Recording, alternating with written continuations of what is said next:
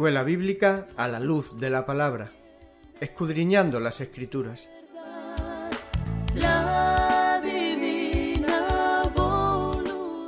Luz a las Naciones, canal cristiano de comunicación, presenta a la luz de la palabra. Un estudio expositivo de la palabra de Dios, una presentación minuciosa de toda la escritura.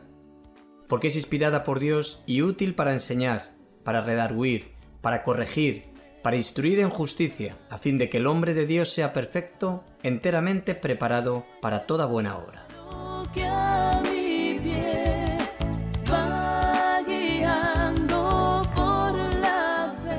Escuela Bíblica a la luz de la palabra, edificando sobre la roca.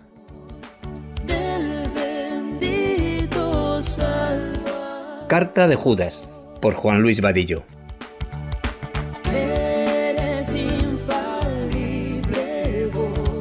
Amados, por la gran solicitud que tenía de escribiros acerca de nuestra común salvación, me ha sido necesario escribiros exhortándoos que contendáis ardientemente por la fe que ha sido una vez dada a los santos.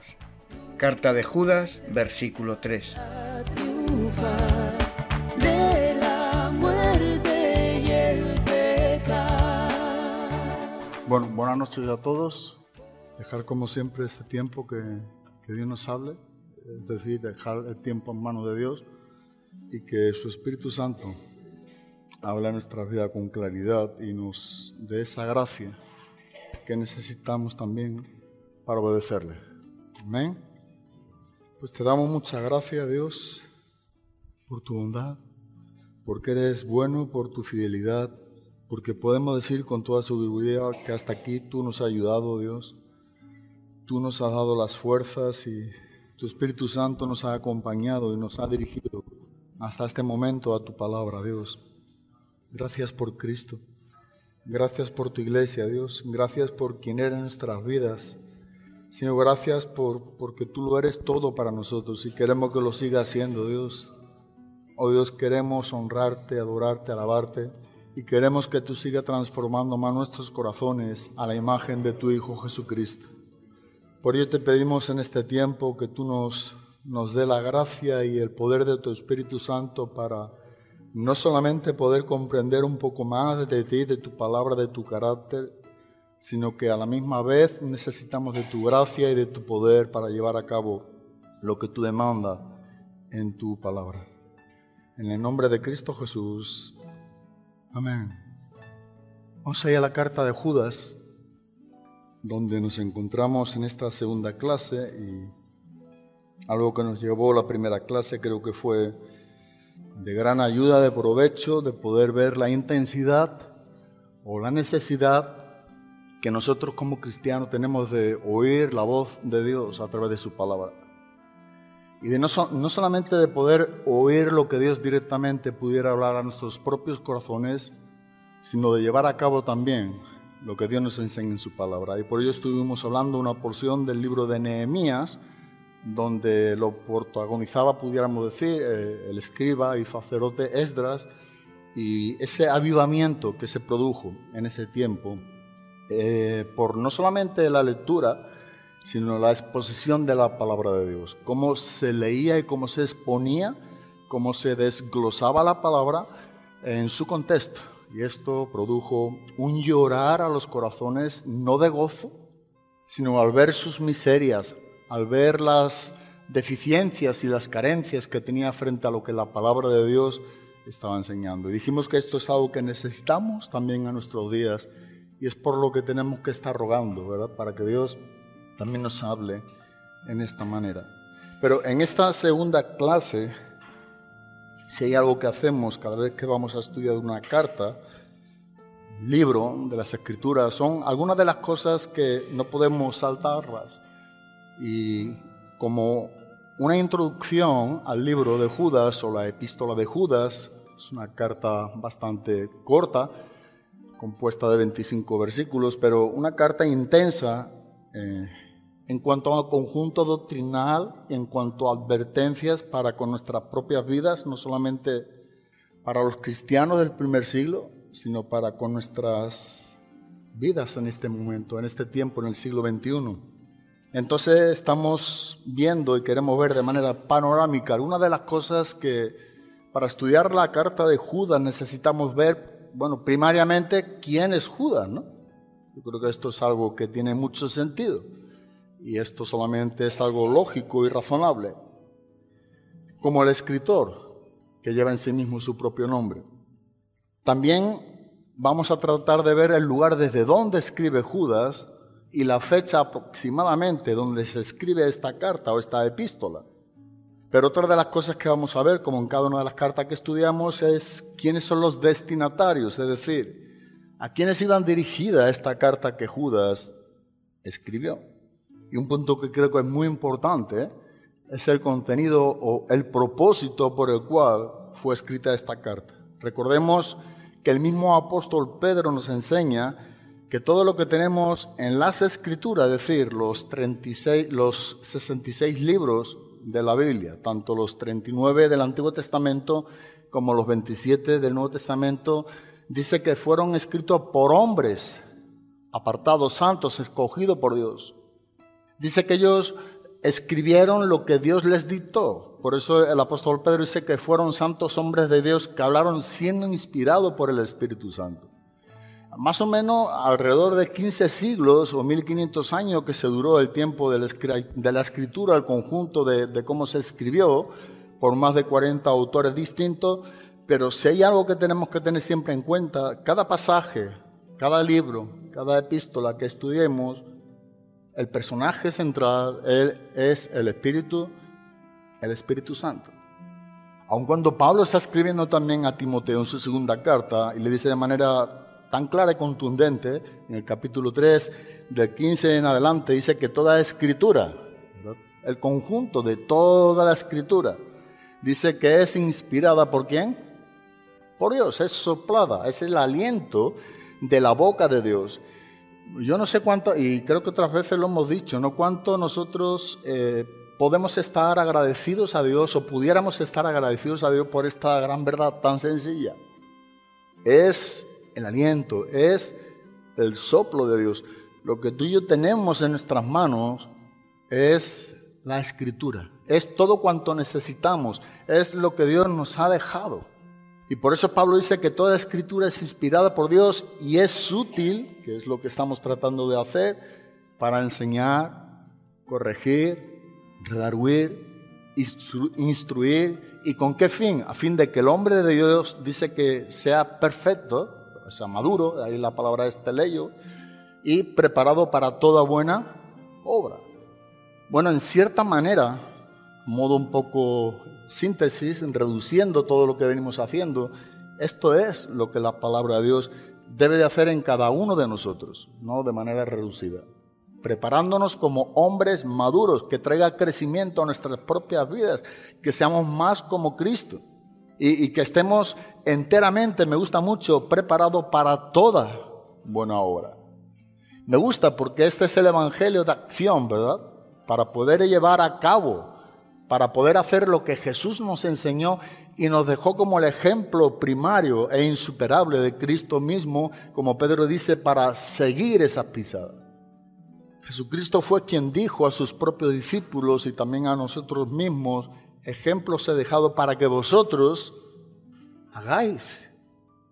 El Evangelio no son solamente palabras, que es poderosa para salvación, siempre y cuando sea el Evangelio sino dice para que hagáis, y se usa, un verbo de, de hacer, para que hagáis lo mismo, dentro del contexto de cuando Jesús lavó los pies a sus, a sus discípulos. Pero aquí queremos ver algunas de las cosas que yo creo que son importantes. El autor, ¿verdad? Quien escribe esta carta, el lugar desde donde escribe esta carta la fecha de esta carta aproximadamente, digo aproximadamente porque no hay mucho, muchos datos sobre ello, eh, los destinatarios y como digo el propósito de este escrito. Y posteriormente veremos lo que se llama un bosquejo analítico, es decir, los 25 versículos lo vamos a dividir en cinco puntos. Eh, estuve pensando, viendo, desglosando y creo que son cinco puntos que guarda su contexto, cada uno de ellos, donde nos va a enseñar grandes verdades. El primer punto que vamos a estar viendo son los versículos número uno y versículo número dos, que es el primer punto que tiene que ver con la salutación. O sea, tiene que ver con el saludo que Judas está dando aquí a los destinatarios, que son los versículos del 1 al 2. Este será el primer punto que veamos. Pero también estaremos viendo los versículos número 3 y versículo número 4, donde veremos el, el, propósito y el peligro en este caso de los apóstatas o de los falsos maestros. Este será un segundo punto que estaremos viendo. El tercer punto estaremos viendo desde los versículos del 15 hasta el 16, tratando precisamente con quiénes son esos falsos maestros y las consecuencias si nosotros cedemos a sus engaños. El punto número 4 será los versículos desde el 17 al 23. Y una de las cosas que creo que es importante, he podido ver, es esta exhortación que Judas está haciendo a los cristianos o a los creyentes como defensa de tales apóstatas. Vemos en este pasaje, en estos versículos, desde el 17 al 23, cómo hay esta exhortación, esta advertencia, este ánimo por parte de Judas a los creyentes, a los cristianos, para que podamos defendernos contra las artimañas y contra los engaños de los apóstatas o de lo que es también llamado falsos maestros. Y por último, el quinto punto que estaremos viendo trata con la doxología que serán los versículos del 23 al 25. La palabra doxología, y en otras ocasiones lo hemos dicho, es una palabra muy importante en las escrituras. Hay varias doxologías, ya lo estudiamos en algunas de las otras cartas, en Romanos lo hicimos, y lo que, es, lo que en sí significa es una palabra compuesta, ¿verdad?, de doxa, y logía. Y doxa viene de lo que es gloria en griego y logía viene de lo que es un tratado. En definitiva, es una adoración o una alabanza al Dios trino. Eso es, digamos, en resumen, lo que es una doxología. Y eso lo estaremos viendo desde los versículos 24 y 25, que serían los dos últimos versículos. Primeramente, en cuanto a modo del título de esta carta, la carta de Judas, en cuanto a su autor. Pero este título es algo curioso porque el título de esta epístola precisamente lleva el nombre de su propio autor. No siempre es así. En hebreo se usa la palabra, en este caso Judas, es la palabra griega, en hebreo es la palabra Judá, donde dentro de otros sinónimos, entre ellos está lo que es alabanza. Pero otra de las cosas que nosotros podemos ver en cuanto este título y esta epístola y esta carta, que es una de las cartas también más cortas que tenemos en el Nuevo Testamento, digamos, junto con Filemón, segunda y tercera de Juan.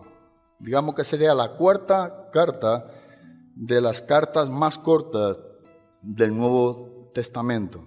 Y es precisamente esta carta, la de Judas. Pero sobre el autor, bueno, sobre el autor ha habido eh, mucha discrepancia y vamos a ver el por qué. Y yo creo que sobre ello vamos a tratar un rato o un tiempo, porque es importante que identifiquemos quién está escribiendo esta carta. Ha habido mucha confusión, ha habido ideas, ha habido discrepancias y curiosamente las ha habido eh, por causa de versiones de la Biblia, por confusiones en cuanto a versículos, por tradiciones, pero si nosotros vamos a la palabra de Dios y es lo que vamos a tratar de hacer y es lo que queremos hacer siempre, una de las cosas que nosotros podemos ver es que aquí donde nos está enseñando y lo que más peso tiene, no solamente con lo que nosotros vamos a exponer en esta noche, sino lo que más peso tiene en cuanto a teólogos con crédito, a comentaristas, lo que más peso tiene, lo que personalmente creo, y hace poco respondí a la pregunta de alguien, que precisamente vamos a ver en esta noche, ¿por qué hay causa de confusión? Y precisamente tiene que ver con lo que nos está enseñando la Reina Valera del 60. En este caso vamos a ver cómo no es la mejor traducción y ha creado confusión con respecto a este autor. ¿A quién es Judas? Por eso vamos a ver algunas versiones y vamos a ver cómo la Reina Valera en este caso ha creado una confusión con respecto al autor. Y esto es importante que tú y yo lo sepamos. De los ocho nombres mencionados en el Nuevo Testamento de Judas, solo dos están relacionados. Solamente dos pudieran ser y están relacionados con el nombre, la carta, el autor y el título de Judas. De los ocho nombres que encontramos de Judas en el Nuevo Testamento. Digamos que nos quedamos solamente con dos y ahora tenemos que ver de los dos solamente puede quedar cuántos. Uno. Y es aquí donde trataremos un poco de ver lo que realmente nos enseña la palabra, la palabra de Dios. Dice en el versículo número uno de la carta de Judas, ¿lo tenemos? Judas, siervo de Jesucristo y hermano, ¿de quién? De Jacobo, a los llamados, amados en Dios Padre y guardados para Jesucristo. Es decir, que de los ocho nombres que encontramos en el Nuevo Testamento llamado Judas, solamente dos pudieran guardar relación, en este caso con Jacobo, con un nombre llamado Jacobo o, lo que es lo mismo, Santiago, para que lo entendamos. De modo que o bien los, digamos en este caso, los candidatos, quienes opinan que es Judas el apóstol, estaría basándose sobre un Judas o Judas, el medio hermano de Jesús, serían los dos que solamente pudieran ser autor de esta, de esta carta. Pero nosotros vamos a ver qué es lo que nos está enseñando la palabra de Dios. O bien es el apóstol Judas, que es uno de los doce, o bien es Judas, el medio hermano de Jesús. Vamos ahí al Evangelio de Lucas, en el capítulo número 6. Los que tenéis la Reina Valera del 60, os diré por qué es un error la traducción de la Valera en este caso.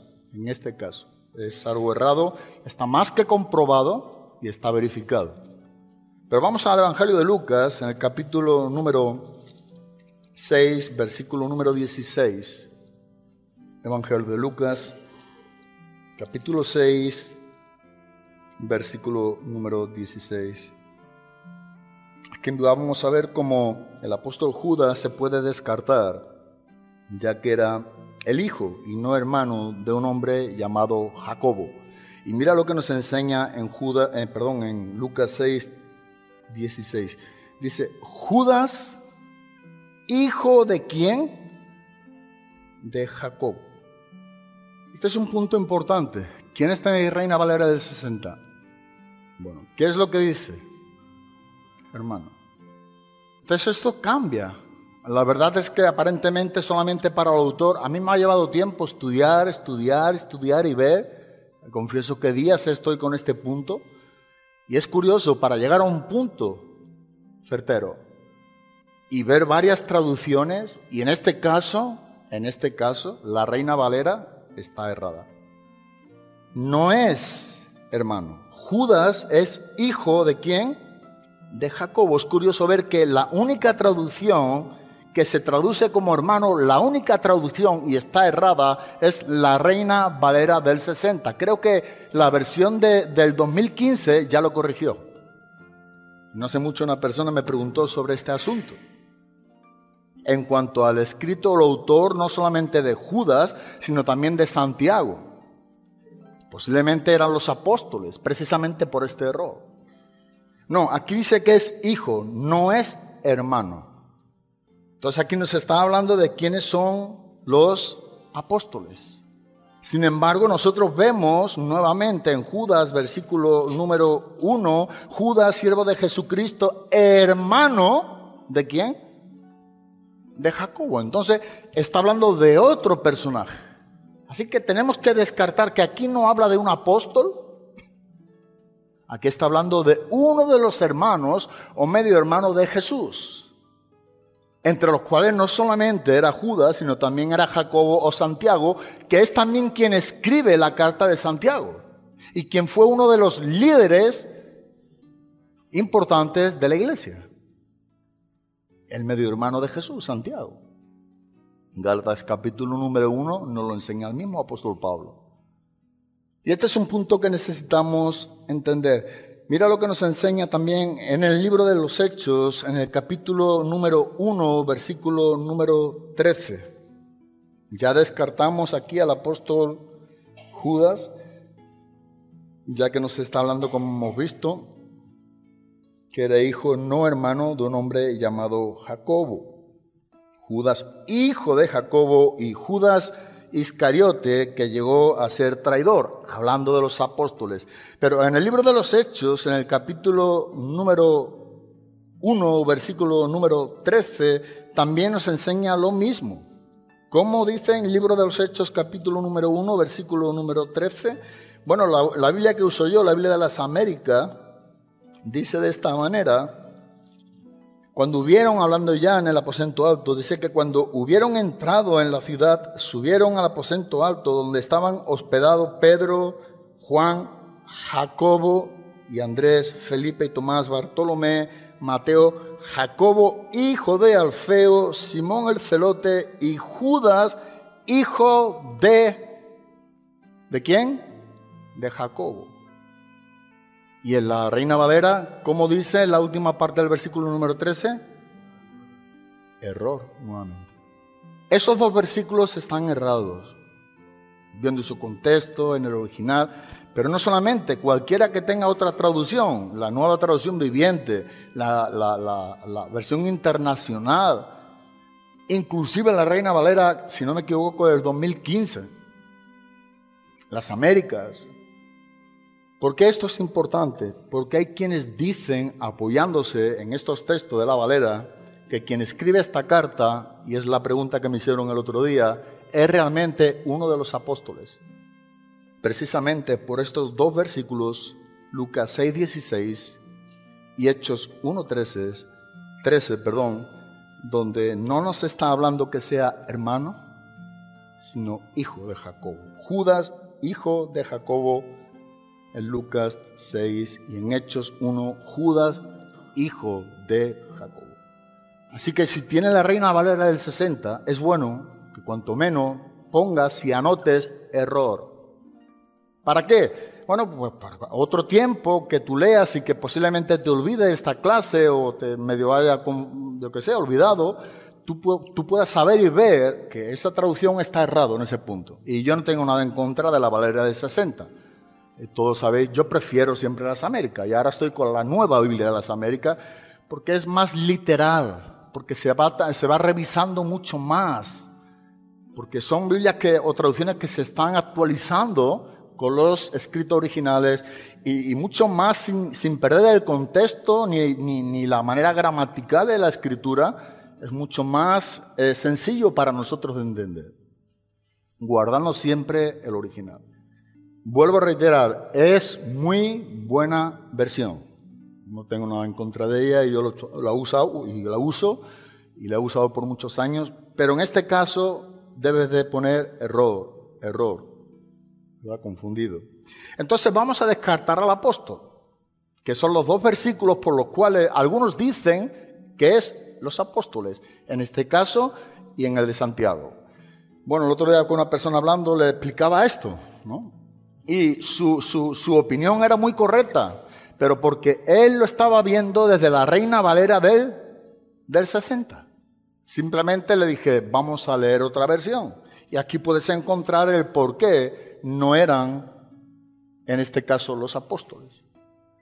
Eran hermanos y no hijos. Entonces es bueno estudiar y tener diferentes traducciones y es algo muy importante porque nos ayuda a comparar y verificar los pasajes, los datos. Siempre es bueno, de verdad, es bueno que podamos tener algunas otras versiones. Y quienes tenemos teléfono, no sé, pero te puedes descargar una, una aplicación que tiene versiones. No solamente tiene versiones, sino que tú pones el versículo, lo marca, le pones a comparar y te enseña ese solo versículo en diferentes versiones. Yo soy del que sigue viendo las versiones con el papel, ¿no? Porque me gusta, pero pero el teléfono es una buena también aplicación, hay muchas versiones. Entonces descartamos lo de apóstol. Y vemos realmente que entonces se está dirigiendo aquí al medio hermano de Jesús. Y eso es lo que tenemos nosotros que defender, o en este caso es lo que tenemos nosotros que aferrarnos. Judas, hermano de Jacobo. Judas, no hijo, sino hermano de Jacobo. Judas era hermano de Jesús, Jacobo también. Y Judá, hermano de Jacobo, dos hermanos, dos medio hermanos de quién? De Jesús. Judas escribe esta epístola y Jacobo, Santiago, el otro medio hermano de Jesús, que también estudiaremos si Dios permite, escribe Santiago. Y usaremos este mismo principio en cuanto a la autoría de, de, quien escribe la carta. Por otra parte, si, si hubiese sido Judas, el apóstol, eh, una de las cosas importantes es que se hubiese identificado como tal, como apóstol. Nosotros no lo vemos esto aquí en estos 25 versículos. Dicho esto, para que no se me olvide, al estudiar esta carta que nos llevaron tiempo, es importante y sería bueno que leas cuanto menos la segunda carta de Pedro.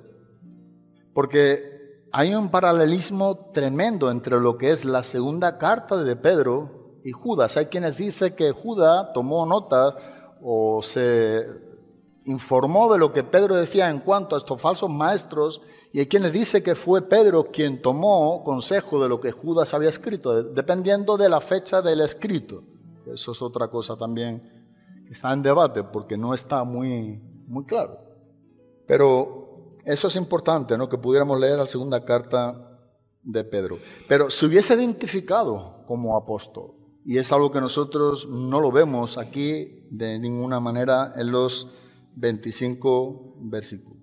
Así que lo más seguro y lo que más fuerza tiene, dicho esto, es fue el hermano, medio hermano de Jesús. Mira, si tú ves el versículo número 17, Judas, él mismo se diferenció, marcó la diferencia con los mismos apóstoles. Y digo que esto vamos a hacer un poco de énfasis porque te encontrará con muchos que dicen que esto fue escrito por uno de los apóstoles, al igual que Santiago. Por eso quiero hacer hincapié en este punto del estudio de quién escribió esto. Y muchas, muchas veces se ha preguntado. Y en base a la valera ha habido debate, hemos podido aclarar de la misma manera que estamos haciendo hoy, el otro día con una persona, con un hermano, sé lo mismo. Es por esto. Es por estos errores que a veces confundimos y creemos cosas que no son. Pero mira, leyendo y releyendo el versículo número 17 de la carta de Judas, mira lo que él mismo dice y marca la diferencia con los apóstoles. Y dice en el versículo número 17, pero vosotros, amados, acordaos de las palabras que antes fueron dichas por quienes? Por los apóstoles de nuestro Señor Jesucristo. Él está saliendo del grupo de los apóstoles. Acordaos, hermano, de las palabras dichas de los apóstoles. Él no se consideró un apóstol. Y de hecho el versículo número uno, como él se considera como es un siervo de Jesucristo. Es lo que nosotros vemos. Así que Judas, al igual que Jacobo o Santiago, medios hermanos de Jesús, escribieron estas dos epístolas, una Judas y otra Santiago. Mira lo que nos enseña en Mateo capítulo número 13, Mateo capítulo número 13, versículo 55. ¿No es este el hijo del carpintero? ¿No se llama su madre María y sus hermanos Jacobo, José, Simón y qué más? y Judas, ese es el escritor. Ese es. Pero es curioso y anecdótico a la misma vez que este escritor y esta carta, esta epístola de la cual vamos a estudiar estos 25 versículos, y donde fue un hombre lleno del Espíritu Santo, dirigido por el Espíritu Santo, fue un hombre totalmente incrédulo. En cuanto a la creencia de que Jesucristo era el Mesías, su propio hermano en la carne, o medio hermano. Y no fue sino que hasta después de que Cristo resucitó, que él creyó en el hermano, en Jesús. Y dice en Juan capítulo número 7, versículo número 5. Juan capítulo, Evangelio de Juan capítulo 7, versículo número 5. Cuando Jesús estaba poco en el contexto de la fiesta de los tabernáculos, una de las fiestas judías, dice el versículo número 5 simplemente algo muy importante, dice, porque ni aun sus hermanos creían. ¿En quién? En él. O sea, que este Judas quien escribe la carta, al igual que Jacobo Santiago, que también escribe la carta, no creían en que Jesús era el Mesías. Como digo, no fue sino hasta que Cristo resucitó.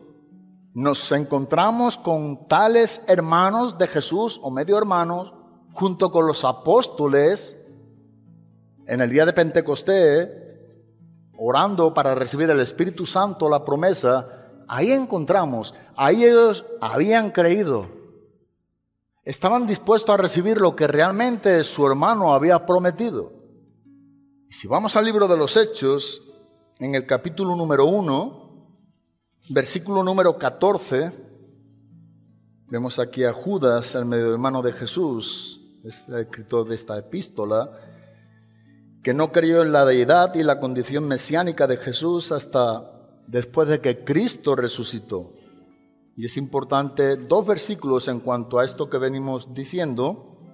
Y dice en el libro de los Hechos, capítulo 1, versículo número 14, todos estos, hablando del aposento alto, todos estos estaban unánimes, entregados de continuo a la oración junto con las mujeres y con María, la madre de Jesús, y con los hermanos de él. ¿Esa versión es? Nota lo que dice el texto. Todos estos estaban unidos, unánimes, perdón, entregados de continuo a la oración, junto con las mujeres y con María, la madre de Jesús, y con los hermanos de él. Otro punto importante en Primera de Corintios, capítulo número 15, versículo número 7. Primera de Corintios, capítulo número 15, versículo número 7. Tenemos, y literalmente dice, dentro de, creo que es un, para tener un mejor contexto podemos ver, versículo número 3, Está hablando aquí el apóstol Pablo escribiendo a la iglesia de Corinto. Dice, porque yo os entregué en primer lugar lo mismo que recibir, que Cristo murió por nuestros pecados. Aquí está el apóstol Pablo quien escribe. Conforme a las escrituras, que fue sepultado y que resucitó al tercer día, conforme a las escrituras, que se apareció a Cefas y después a los doce. Luego se apareció a más de 500 hermanos a la vez, la mayoría de los cuales vive aún viven aún, pero algunos ya duermen. Y dice en el versículo número 7, después apareció a quién? A Jacobo. Y nota cómo aquí separa. Luego a todos los apóstoles. Cristo resucitó y se presentó a, a muchos, como bien nos enseña el mismo apóstol Pablo, no solamente se presentó a muchos y durante 40 días con pruebas indubitables y a más de 500 hermanos y a los mismos apóstoles, a los 12, sino que aquí da esta connotación, se apareció a Jacobo. Este es el incrédulo que ahora era crédulo. Y no solamente era crédulo, sino que había recibido el poder de lo alto del Espíritu Santo y es ahora cuando cambia por completo el panorama, en este caso de Judas. Jacobo en este caso sería Santiago, quien escribe esta carta, o la carta de Santiago. Pero lo que nosotros podemos ver aquí es que realmente de la manera como se apareció a Judas, como hemos visto, y también se apareció en este caso a Jacobo, quien escribe Santiago, no son los apóstoles, son los hermanos de Jesús. Gente incrédula, como hemos visto, pero gente que ahora están siendo usadas y llenas del Espíritu Santo para poder escribir lo que el Espíritu Santo dictaba. Primera de Corintios capítulo número 9, versículo número 5. Ya hemos visto que tanto Judas como Jacobo eran incrédulos, luego fueron creyentes, tuvieron, recibieron el Espíritu Santo y se dedicaron al servicio por completo, pero creyeron después de que Cristo resucitó.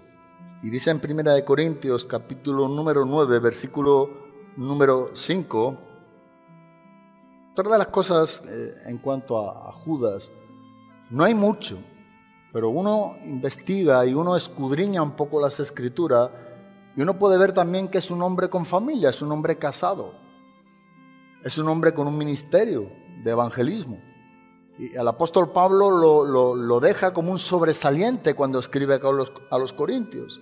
Y por eso dice en el versículo número 5, dice, ¿acaso no tenemos derecho a llevar con nosotros una esposa creyente, así como los demás apóstoles? Y nuevamente, los apóstoles. Y mira lo que sigue diciendo, y los hermanos del Señor y Cefas. Otra de las cosas que podemos ver en cuanto también a Judas, es un hombre casado. Es un hombre con esposa. Es un hombre con ministerio. Es un hombre donde está llevando a cabo un propósito de parte de Dios. Así que nosotros podemos ver que la profunda humildad aquí de Judas se refleja en el hecho que al igual que su hermano Santiago, ellos mismos se dirigieron y se refirieron en cuanto a, la salutación tanto a Judas como a Santiago como siervos de Jesucristo. En Santiago 1.1 dice, Santiago, siervo de Dios y del Señor Jesucristo. Y Judas dice también algo muy similar. Judas, siervo de Jesucristo. Así que es importante entender y situarnos, aunque aparentemente esto sea algo que, bueno, lo dice una vez está, bueno, es importante que estas bases pudiéramos tenerlo a modo de apologético o apologética para poder defender este punto de vista. Por eso estamos dando diferentes textos, diferentes pasajes. Y vuelvo a lo mismo, porque muchos te dirán que este escrito es un escrito de uno de los apóstoles. Y por lo que la ley nos enseña, no es verdad. Entonces una de las cosas que vemos aquí también es que cabe destacar, en este caso con Santiago o Jacobo, el hermano de Jesús, era también no solamente quien escribe la carta de Santiago, creyendo igual que en este caso Judas, sino que fue alguien prominente, fue alguien destacable de la iglesia. Mira cómo nos enseña en Gálatas capítulo número 1 el mismo apóstol Pablo, haciendo referencia en este caso a Santiago, el hermano de Judas y hermanos o medio hermanos de Jesús. Gálatas capítulo número 1, Gálatas capítulo número 1, versículos 18 y 19. Y dice el mismo apóstol Pablo. Entonces, tres años después subí a Jerusalén para conocer a Pedro. Estuve con él 15 días, pero no vi ninguno otro de los apóstoles, sino a quién? A Jacobo, quien era el hermano de quién? De Jesús, del Señor. Está llamado aquí Santiago. Una persona que podemos ver aún inclusive en diferentes pasajes, que era una persona, un líder importante ¿eh? en Jerusalén con la iglesia de Cristo, quien estaba prácticamente encabezándola o liderándola. Si vamos al libro de los Hechos, en el capítulo número 12, y aquí sí que hay que hacer diferencia, y sí que habla del apóstol Judas. En este caso, en Hechos capítulo número 12, vemos que después aquí del martirio del apóstol Jacobo, mejor dicho, no Judas, perdón, o Santiago, Hechos 12, versículo número 2, versículo número 1, por aquel tiempo el rey Herodes echó mano a algunos que pertenecían a la iglesia para maltratarlos e hizo matar a espada a quién? A Jacobo, el hermano de quién? De Juan. Entonces, este Jacobo o este Santiago no es el hermano de Judas ni hermano de Jesús. Este sí que es el apóstol, Santiago o Jacobo. ¿Y por qué esto es importante? ¿Y por qué esto es algo que queremos separarlo? Porque nosotros podemos ver que después de este tiempo del martirio del apóstol Jacobo, no hubo otro Jacobo en la iglesia primitiva, sino solamente el hermano de Jesús. Es que no hubo otro Jacobo, otro Santiago, sino el hermano de, de Jesús. Entonces yo creo que hasta ahí más o menos podemos entender que el autor es entonces Judas, el medio hermano de Jesús, y hermano de quién? De Jacobo o Santiago, quien escribió también la carta de Santiago. Y no es este Jacobo, apóstol, que en este caso fue decapitado, cortado la cabeza en el libro de los Hechos de los Apóstoles en el capítulo número 12. Ahora, el lugar y la fecha. creo que con esto más o menos el autor lo tenemos bien claro quién es, cuanto menos hemos tratado de ver algunos puntos que debemos destacar para saber que está tratando en cuanto al autor con un medio hermano de, de Jesús. Es curioso, pero en cuanto a lugar y fecha, por más que está estudiando, viendo y, buscando en diferentes lugares, no hay nada de mucho peso. ¿no? Hay, hay algunas de las cosas que, que uno, he leído y releído, uno puede sacar de la misma carta para poder ver más o menos una proximidad de, de, de, lo que se aproxima ¿no? al tiempo, a la fecha del escrito o el lugar. Pero una de las cosas que yo creo que es importante, no habiendo muchas evidencias para poner algo exacto, hay algunos quienes creen, gente de peso en cuanto nuevamente, eh, reitero, teólogos, eruditos, comentaristas, y creo, por lo que leo y por lo que he podido ver en esta carta, y coincido en ello, que muy posiblemente está escrita desde Jerusalén, donde en este caso Jacobo, hermano de Judas, estaba liderando la iglesia de Cristo, en Jerusalén. Entonces posiblemente es desde donde su base, digamos, su sitio, lugar donde está escribiendo, sea junto con su hermano, esté cerca de él. Otra de las cosas porque no habla en cuanto a la destrucción de Jerusalén, aproximadamente pudiera escribirse entre el 68, hay quienes dicen el 66 al 70 después de Cristo.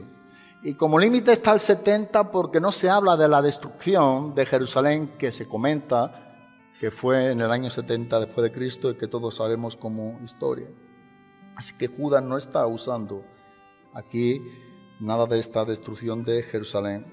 Entonces posiblemente desde Jerusalén y posiblemente en el 68 al 70. No creo que tenga mucha importancia esto que estamos viendo. Para mí tiene más importancia en cuanto al autor, porque sí que hay más dato bíblico y sí que podemos diferenciar los errores de aquellos que creen que fue quien escribió un apóstol y lo que realmente nos enseña el Biblia que fue quien escribió un medio hermano de, de Jesús. ¿no? Eso para mí tiene más, más peso. Hay quienes dicen que posiblemente se escribió después de segunda de Pedro. Por eso digo, hay una gran similitud. Si tú lees y estudias, tu menos lees la segunda carta de Pedro, te vas a dar cuenta que muchas de las cosas que Judas está diciéndonos en estos 25 versículos, en un solo capítulo, lo que Pedro dice en su segunda carta es algo prácticamente como una fotocopia. Por eso pudiera tanto uno o el otro haberse informado de diferentes informaciones de datos opuestos para ponerlo como dato firme en sus cartas. Es importante leer esa segunda carta de Pedro. Entonces, tanto Pedro como Judas, si algo que tienen en común es que denuncian a los falsos maestros de la época de ellos. Ahora bien, destinatarios, ¿no? También tenemos que saber, o cuanto menos, a, quién van, a quiénes va dirigida o a quién va dirigida esta carta. Y curiosamente tampoco tenemos, no es una carta que nos hable con bastante claridad a quién va dirigida, ¿no? No hay un nombre especial, no hay una zona, pero sí vemos algunos de los datos que yo creo que también pudiera ayudarnos, cuanto menos en algo, ¿no? Para tener algo en, nuestra, en nuestras mentes a la hora de estar estudiando, compartiendo esta carta. Pero cuando uno ve el contexto y, y, y cuando uno ve las las múltiples citas del Antiguo Testamento, ¿no? Esto es algo que a mí me llama la atención. Casi seguro que es una carta que está dirigida a cristianos judíos que conocían bien el Antiguo Testamento. ¿Y por qué? Por las diferentes citas que encontramos del Antiguo Testamento. Prácticamente no las conté, he marcado alguna, pero hay varias citas que tienen que ver todas con el Antiguo Testamento. Entonces, los destinatarios sabían muy bien que lo que estaban escuchando, lo que Judas estaba escribiendo, tenía que ver con personas que conocían el Antiguo Testamento, la historia de las escrituras del Antiguo Testamento, pero que ahora eran cristianos, que se habían convertido a Cristo.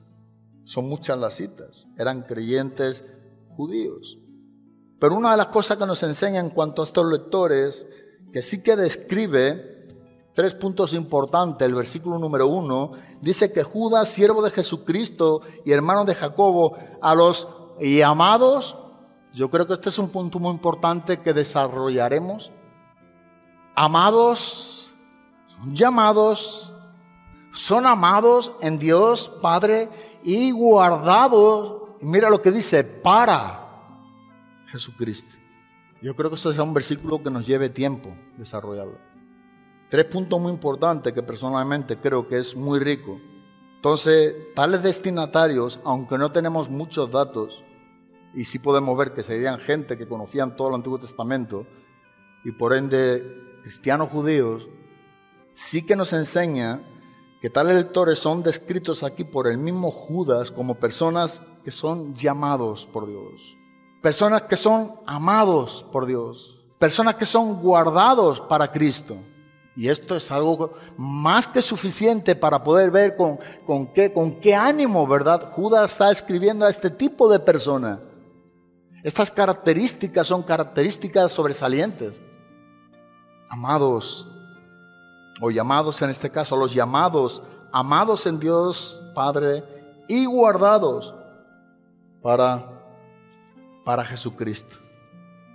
Otra de las cosas que leyendo la carta eran personas que tenían o que oraban con intensidad.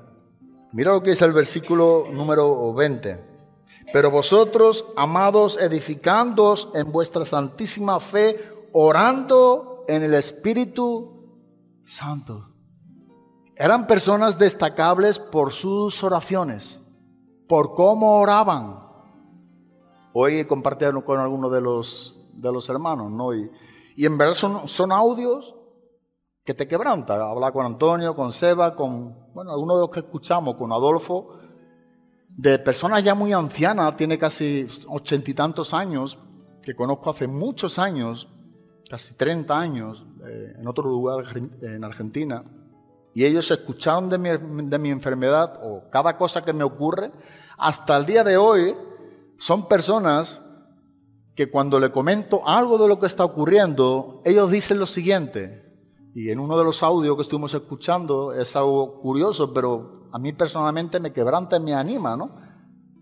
Pasan la noche de rodillas orando por tu situación. Literalmente. Hay alguien que me preguntó, oye, ¿comentaste lo que te está pasando a tal y tal persona? No, pero a tal y tal persona sí. No sé si me explico. Pero hay hombres que oran, o mujeres que oran, y hay otros que oran. Y estas personas son de las que oran. Tú escuchas el audio y es muy posible que te quebrantes. A mí me ha pasado. Y los que lo han escuchado, tú ves la verdad de personas que creen a Cristo. Y te dice literalmente, Juan Luz, duerme tranquilo, esta noche estaremos de rodilla con mi esposo orando por ti, por tu situación. Y no vamos a dejar de orar hasta que Cristo obre con poder. Son gente sencilla, humilde. Son mayores. Pero tú los escuchas, son muchos los audios, ¿no? Pusimos dos o tres. Están todo el día eh, escribiéndome, mandándome audio. Esas personas cuando oran, te puedo asegurar que el diablo huye. De verdad. No sé por qué, pero son gente que no, no, se dedican solamente a dar una oración un rato. Esas personas se arrodillan y pasan la noche orando. De verdad, orando. Y no solamente orando. Ellos dicen, esto vamos a hacer una guerra espiritual. Y estos asuntos se tratan de esta manera. Y te lo dicen y lo hacen. Y yo leyendo esta tarde esta carta, se me venía en mente a lo que esta mañana estuvimos escuchando. Son gente que, bueno, que, que- amamos. Curiosamente, ¿sabes qué es lo paradójico de todo esto? Que yo les llevé a Cristo hace 30 años. Son gente, un grupo de personas como Marcela, mis suegros, gente que eran católica, que conocieron a Cristo hace 30 años. Y esta mañana escuchando con Marcela estos audios, Dios nos quebrantó, porque curiosamente les enseñé a vivir esta manera de creer a Cristo, esta manera de expulsar los demonios, de ser sanados las enfermedades, de clamar el nombre de Cristo, de creer lo que es el poder de la sangre de Cristo, y me hizo recordar cosas que yo no es que la haya olvidado, sino que sí que estoy en reserva. Y sin embargo se las enseñé hace 30 años, ellos los están viviendo todavía. Y lo creyeron y lo siguen creyendo. Y digo, esta, esta es una parte en cuanto a leer lo de la, la- la oración, porque yo veía que este es un grupo de personas que Judas está dirigiéndose a gente que de verdad oraban. Tú y yo sabemos a lo que nos referimos. Oraban, tenían intensidad en la oración, tenían ministerio de oración, tenían, no tenían relojes para orar, tenían rodillas para doblarse. Yo te puedo asegurar que gente que ya son ancianas, que conozco de años y que por la gracia de Dios les pude llevar a Cristo, hasta hoy viven de una manera que yo soy, yo estoy completamente seguro que cuando de verdad se, se arrodillan y oran, a esas personas sí que les informo de mi situación y, mi- y curiosamente no están en la obra, o sea, no están, está una iglesia pentecostal. Pero esas personas cuando oran, oran y hacen guerra y las hacen sin importar el tiempo ni lo que venga. Gente muy humilde, ya son mayores, pero creen simplemente como Dios dice, Cristo es todo, no necesito nada más. Y solamente tenemos que dirigirnos a Cristo. Y bueno, es, merece la pena escucharlo, no es, no es, no es el caso este, ¿no? pero escuchamos a alguno y, tú escuchas es difícil que, te- no te quebrante. Tú ves la verdad, la honestidad de esas oraciones.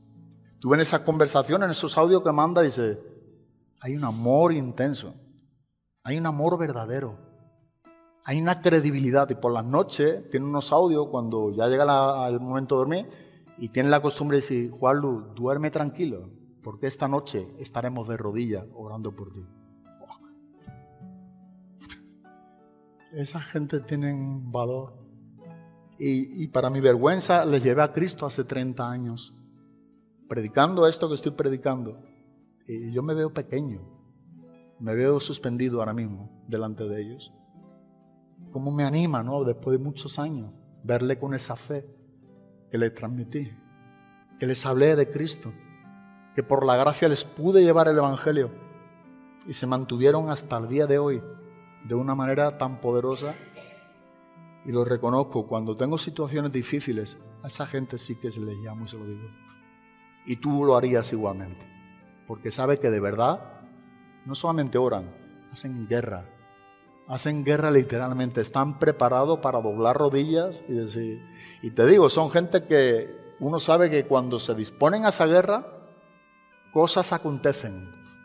No sé cómo, pero empiezan a moverse cosas. Para mí es un privilegio haber podido compartir el Evangelio con ellos hace muchos años y verle con ese amor tan grande. De decir, pasar la noche entera con ochenta y tantos años solamente. Por mí, por mi salud, por lo que estoy viviendo. No es la primera vez. Cada vez que he caído en algo, cuando el COVID en el hospital, igual. Y expresan un amor y una gratitud que no han olvidado nunca. El deseo de ellos solamente es, queremos verte de nuevo. No queremos, queremos verte de nuevo. Aunque sea un rato. Pero queremos que Dios nos dé ese privilegio. Y esas personas no las olvida. Te lo digo, no las olvida. Y cuando tú hablas o yo hablo de oraciones, yo leía esto digo, a esta gente sí que le informo. Y estoy convencido que pueden estar orando y estoy convencido que están de noche con rodillas dobladas y oran. Pero lo que es orar. ¿Qué especial?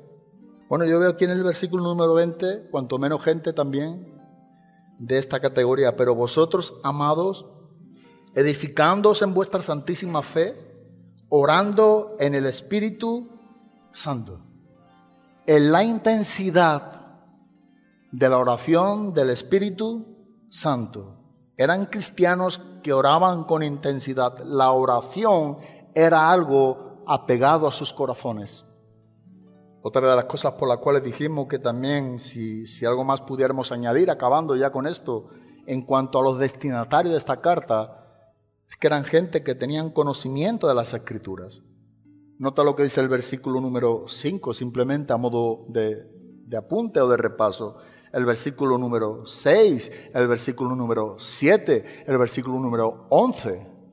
Este tipo de citas en una carta tan reducida de 25 versículos no son cualquier destinatario, no son gente con conocimiento de las escrituras del Antiguo Testamento.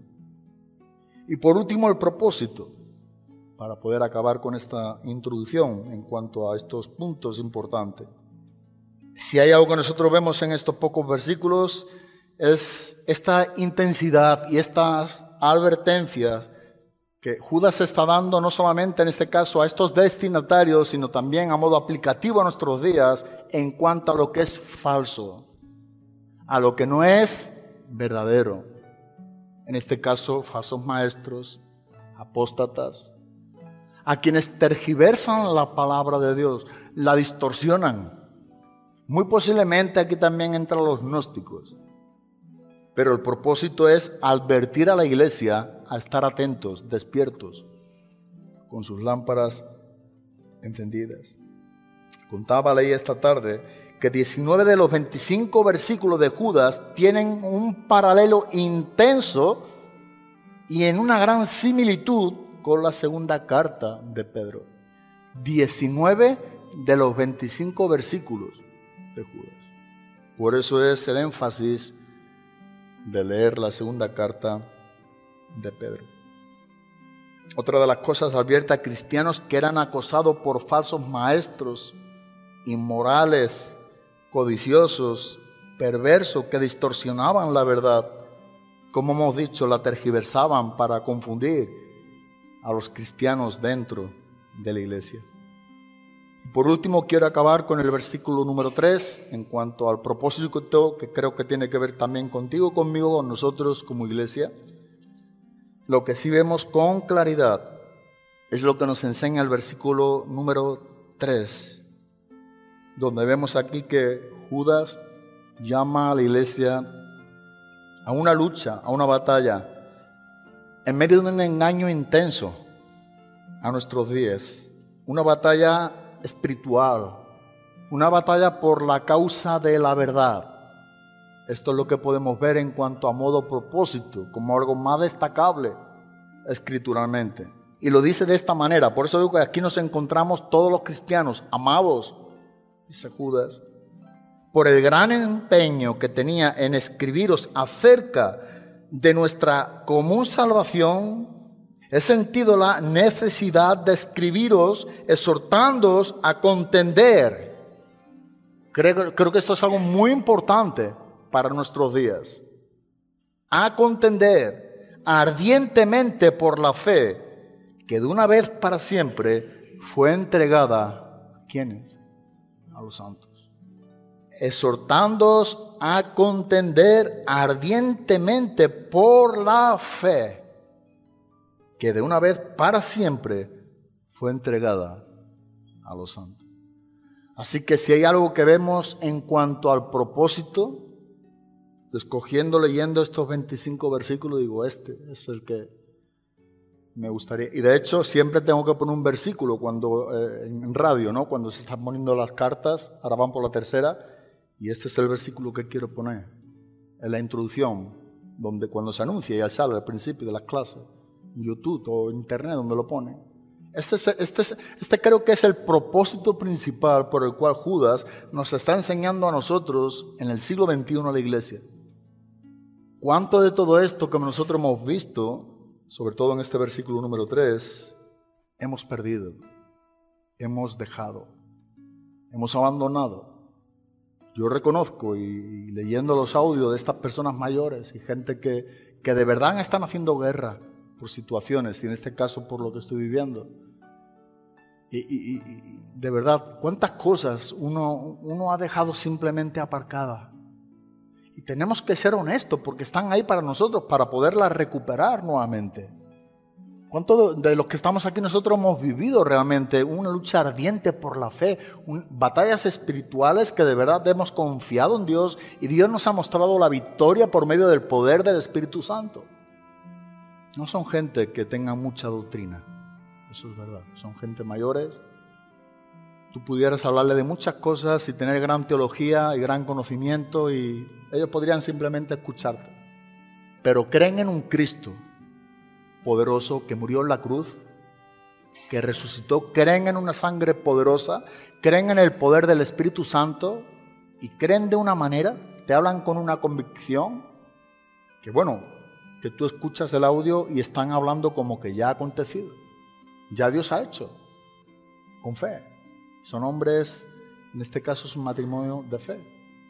Necesitamos esto entre nosotros ser honestos y recuperar esta exhortación que nos enseña aquí Judas, que esto es para nosotros, para que contendamos ardientemente por la fe que nos fue dada una vez a nosotros, los santos, sus hijos. Que Dios nos ayude en este tiempo del estudio de la carta de Judas, que esto lo tengamos presente en nuestras mentes y meditándolo en nuestros corazones. Amén. Pues te damos gracias, Padre. Gracias, Espíritu Santo. Gracias, Cristo. Gracias por el poder de la cruz. Gracias por tu evangelio. Señor, gracias por el tiempo, por los meses o por los años que tú nos has mantenido hasta aquí, hasta el día de hoy, Dios. Tú has sido tan bueno, Dios, y merece que, que nuestra vida sea solamente para ti, porque tú nos has redimido, nos has comprado a precio de sangre, con la sangre del Cordero de Dios. Somos tuyos. Oh Dios, tenemos un privilegio grandísimo, un motivo para servirte con alegría hasta el último día de nuestros días. Gracias Dios, gracias, gracias porque tú diste a tu Hijo Jesucristo a morir en la cruz por nuestros pecados y Él se entregó de manera voluntaria y fue hecho pecado por nosotros, fue maldito por nosotros, para que nosotros podamos vivir en, en la debida relación contigo sin ninguna condenación para que seamos librados del mismo infierno y poder disfrutar una eternidad contigo en el cielo. Oh Dios, gracias, gracias con todo el corazón te lo damos, Dios. Tú eres bueno, tú eres fiel. Señor, tú has provisto en todos estos años lo más mínimo. Tú siempre has estado atento a nuestras oraciones. Tú nos has guardado y cuidado hasta el día de hoy en todo detalle, Dios. Y tú lo seguirás haciendo hasta que estemos en tu presencia. Oh Dios, creemos en que tú eres poderoso, tú eres el Todopoderoso. La sangre de Cristo tiene poder para deshacer toda maldad, para libertar a los cautivos, a los, a los que están oprimidos por el diablo. Lo creemos en el nombre de Cristo Jesús. El poder de tu Espíritu Santo sigue siendo, estando vigente para con nuestros días. Tú sigues siendo el mismo ayer, hoy, por siempre. Oh Dios, perdónanos cuando no creemos lo que tú nos enseñas en tu palabra. Señor, aviva y despierta nuestros corazones. Llénanos del poder, de, de, de, la llenura de tu Espíritu Santo para estar viviendo de manera sobrenatural, Dios, de una manera solamente donde tú eres el enfoque de nuestras vidas. Oh Dios, gracias por ser tu Hijo. Gracias porque tú nos has redimido, porque tú nos has comprado, porque tú nos has adoptado, Dios. Gracias porque formamos parte de tu pueblo, de tu iglesia. Gracias que no somos del mundo, que no somos del diablo, Dios. Muchas gracias. Que es a través de Cristo. Oh bendito Señor Jesús. Santo poderoso eres tú. A ti te damos la gloria y la honra, Cristo. Nada mejor que, que servirte con todos nuestros corazones. A ti te lo debemos todo, Dios, y te pedimos perdón cuando no estamos a la altura de lo que tú demandas en nuestras vidas. Pero también te damos las gracias porque tú estás trayendo un despertar a nuestros corazones para que retomemos lo que hemos dejado, Dios, para que volvamos a creer lo que tú nos has enseñado, para que podamos seguir viviendo lo que tú nos enseñaste a vivir. Oh Dios, gracias. Gracias por las personas que tienen ese ministerio, Dios de intercesión, de oración, Dios, y que podemos confiar en que es un pueblo fiel. Te amamos y te adoramos a ti, Padre. En el nombre de Cristo Jesús. Amén, Señor. Amén.